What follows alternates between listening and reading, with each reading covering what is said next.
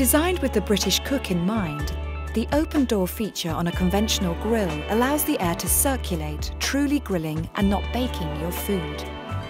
Perfect for those distinctly British dishes.